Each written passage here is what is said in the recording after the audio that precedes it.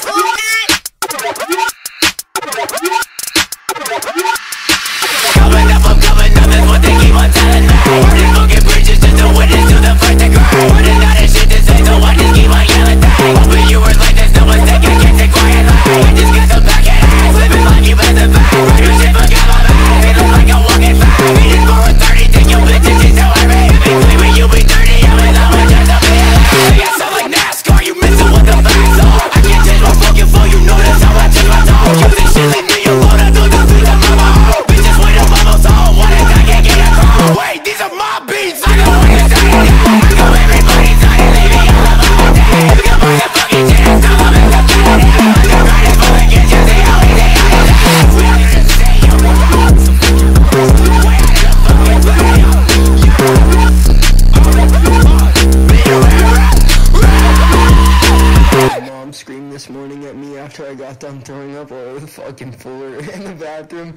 You refuse to go to a doctor!